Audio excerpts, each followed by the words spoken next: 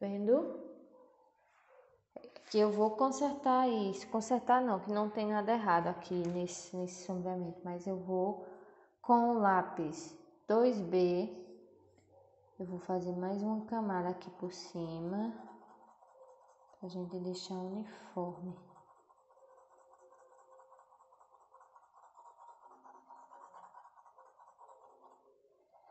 Essa parte também aqui, ó, tem até aqui o meio do olho, até aqui mais ou menos.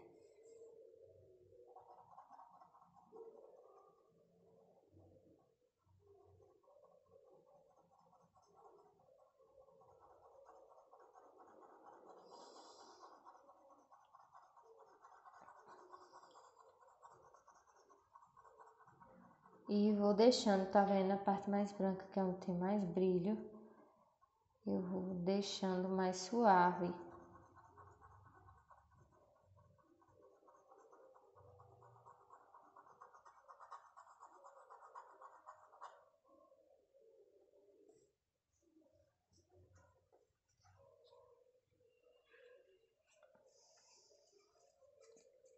É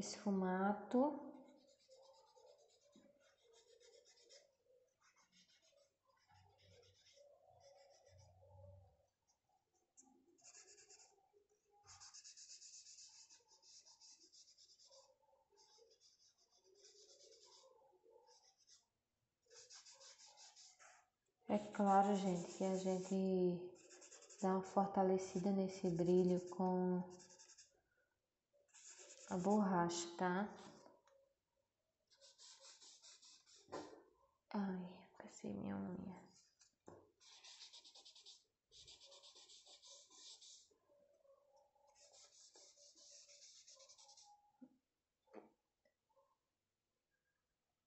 Um pouquinho de zoom.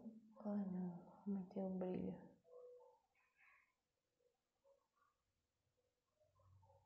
Pra vocês verem.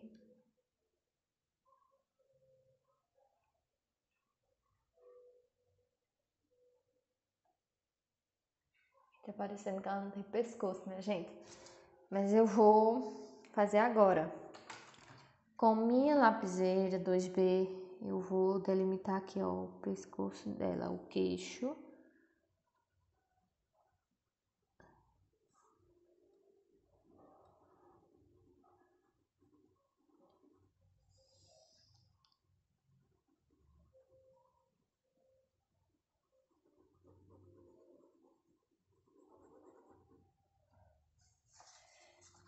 E aqui, mesma coisa.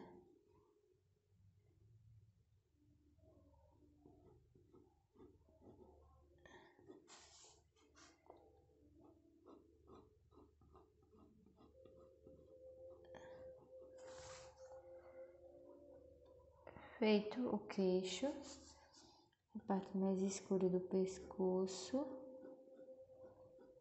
eu vou Tá bem escuro.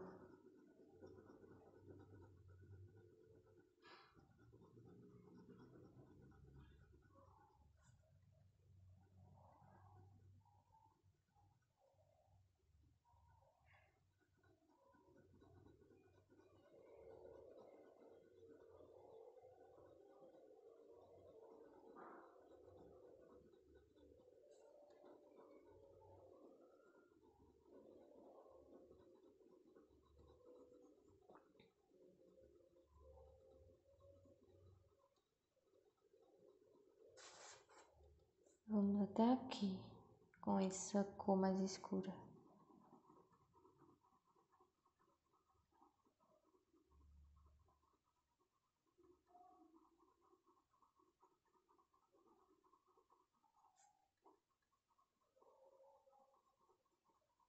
E aqui vou diminuindo o peso da mão para fazer uma, um degradê Pronto. Dessa vez vou fazer o esfumato com meu pincel. Gente, volto a dizer, pincel é opcional, mas eu gosto de fazer o esfumato com pincel. Então, você usa as coisas que você se identificar mais, que você você for testando, você for aprendendo, você vai saber escolher os seus materiais com o tempo.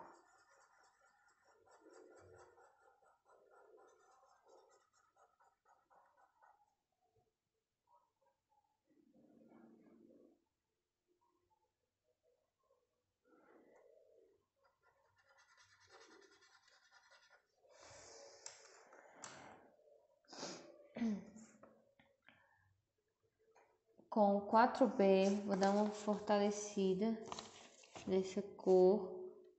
Só 4B não, é só 2B. 4B. Vou dar uma fortalecida nessa cor. Pintar aqui o cantinho com bastante força no lápis. Para ficar o máximo escuro. E aqui eu vou fazendo um degradê. É só aqui no cantinho, gente, que é mais escuro. E nesse contorno aqui.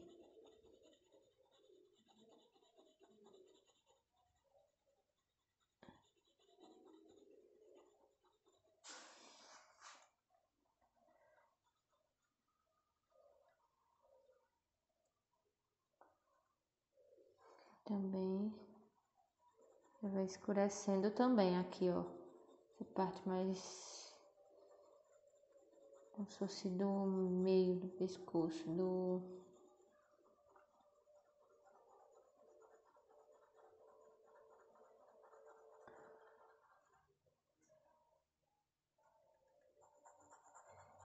Ela tem um sinal aqui, eu já vou fazer para não esquecer. Sinal, gente, para fazer um círculozinho escuro e você esfumaça.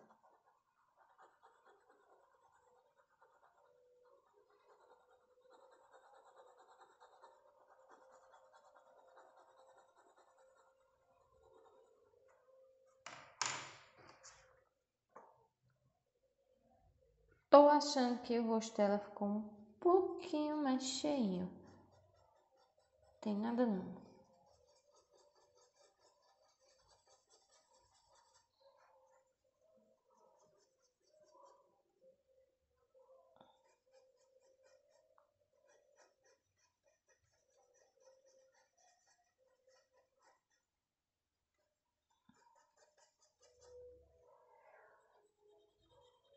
Pessoal, assistam também os vídeos no canal, que o meu canal, canal Desenhando Tudo, tem muita coisa legal por lá. E também no Instagram, onde eu posto mais bastidores, alguns desenhos da semana.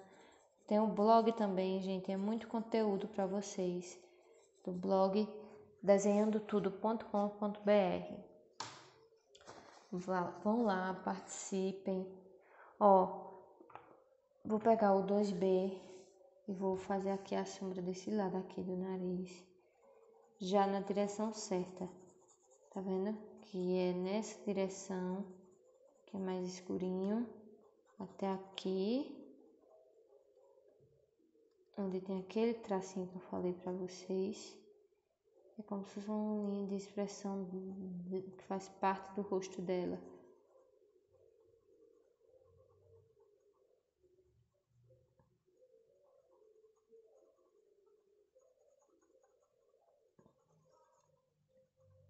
E aqui tem mais um sinal. Um sinalzinho aqui. Fiz e vou fazer esse formato.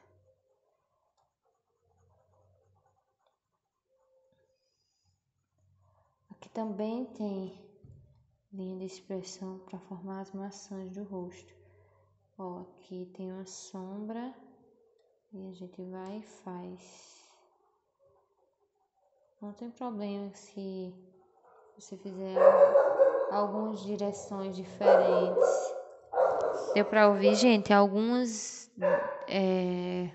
Falar um pouco mais alto aqui algumas direções diferentes, não tem problema, porque você não vai fazer esse formato, aí Dá pra uniformizar, tá bom? Eu falo tanto tá bom, né, gente? Tá bom, tá bom. Pronto, aqui.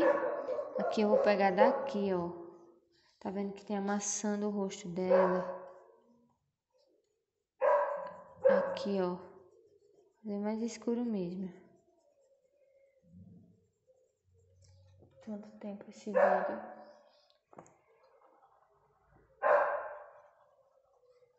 E aqui, ó, tem uma sombra que pega daqui, ó, daqui e vem daqui, pega daqui. E aqui tem um cabelo que eu deixei ele mais pra lá assim. Pronto, essa sombra vem daqui. Eu vou preencher, vou preencher ela com a ponta mesmo. Preenchendo ela com a ponta.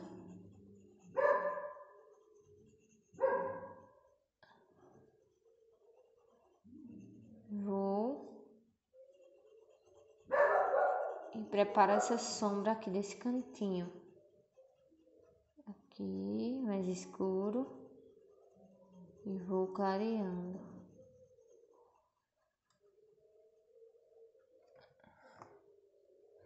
E aqui eu vou ajustar. Aqui, ó. Aqui.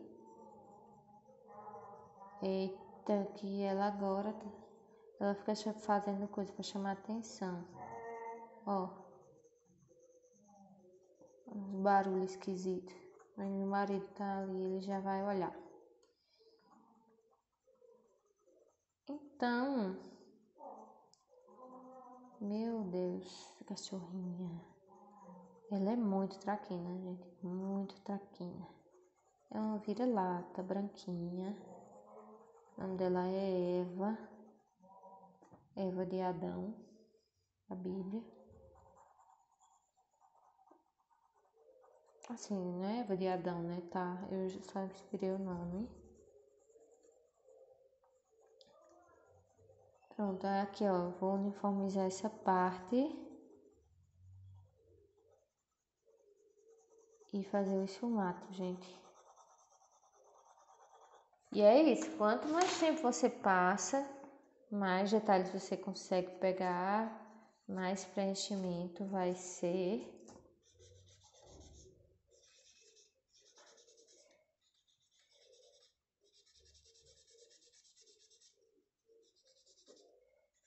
mais real vai ficando o seu desenho. A sombra dali é bem marcada mesmo. Eu ainda vou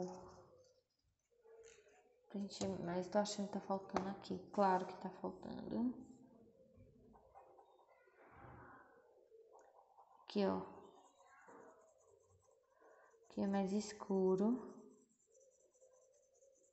E assim. E não tem segredo, gente. O segredo maior do desenho realista é você fazer as medidas certas para o seu desenho ficar parecido e observar bastante. Observe, observe e observe porque é o que dá diferença no desenho.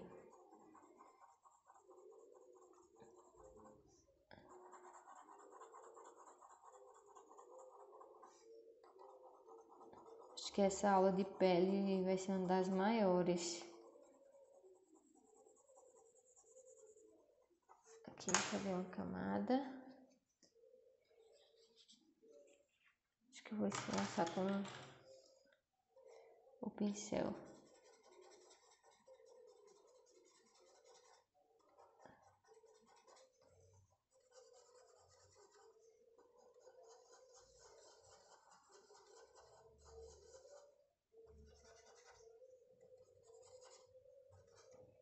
Ainda faltou um pedaço, gente.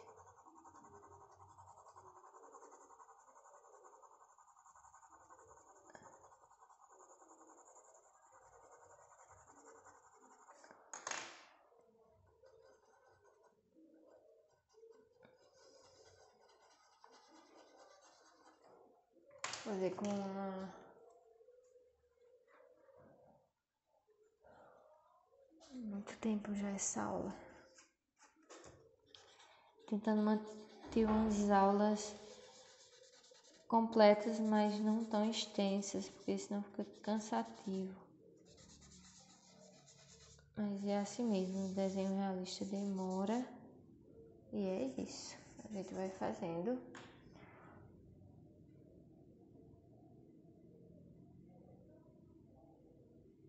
Agora vou pegar a lapiseira e vou fazendo algumas partes mais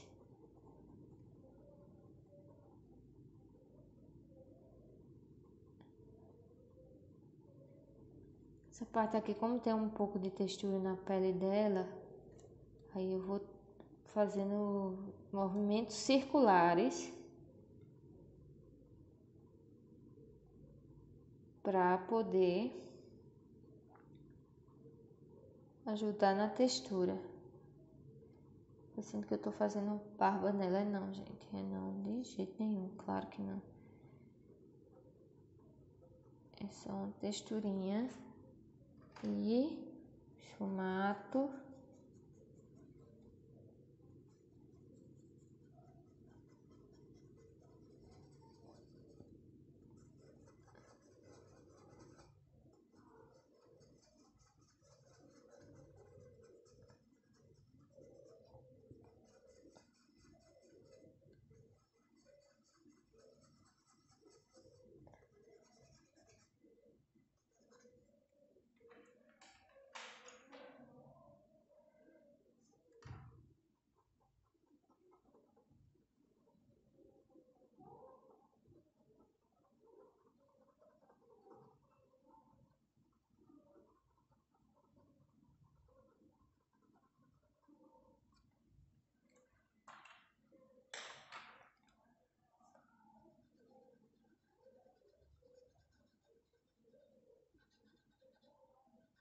É muito bom você testar materiais que dão o mesmo efeito, mas você acaba gostando mais de um ou de outro.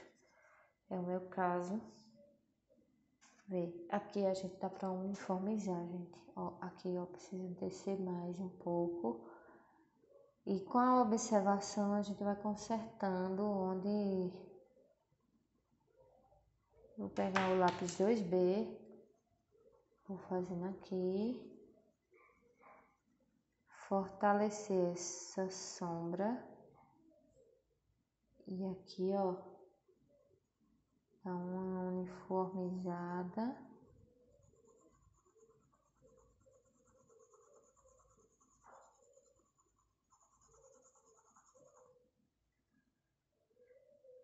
Aqui, mais escuro um pouco.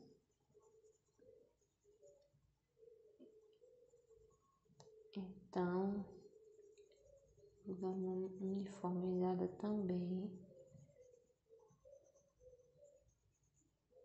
E aqui, onde ela tem a entradinha, é mais escuro. Aí a gente vai e faz. Observa. Ó, gente, uma coisa muito importante que eu tenho para falar. O papel é extremamente importante. O papel sulfite é acessível é para todo mundo. Só que esse papel de 70 gramas, que é o, o mais comum, ele às vezes não aguenta tanto tanta camada de grafite, porque quando você vai esfumaçando é como se desgastasse o papel. E um papel de gramatura mais pesada, como de 180 gramas, tem sulfite de 180 gramas que eu uso também, só que nesse aqui eu estou usando um sulfite normal. No sulfite de 180 gramas, é... ele aguenta mais, entendeu?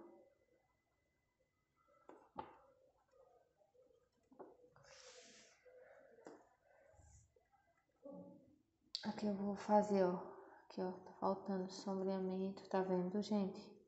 Que a gente vai achando e vai preenchendo. Aqui no canto do olho dela. Aqui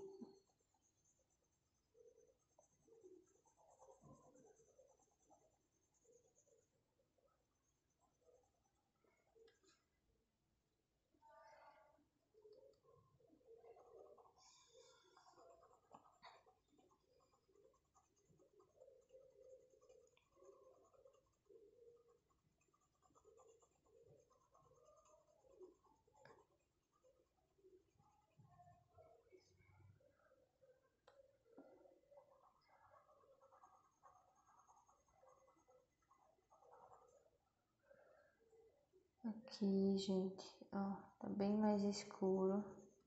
Esse é o, 2B.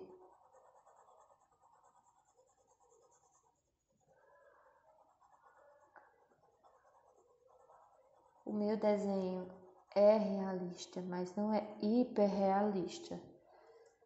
Desenho hiperrealista tem muita gente fera, fera nesse quesito de hiperrealismo. Vocês vão na internet, vocês vão saber do que eu tô falando. Meu desenho é desenho de rosto realista, mas não hiperrealista, tá bom? Eu faço sim o mais fiel possível, pego o máximo de detalhes possíveis.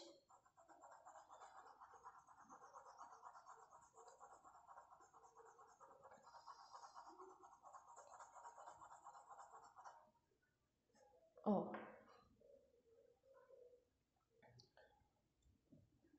Tem sombra no, no olho aqui também. Você vai preenchendo onde tiver faltando sombra, você vai colocando aqui.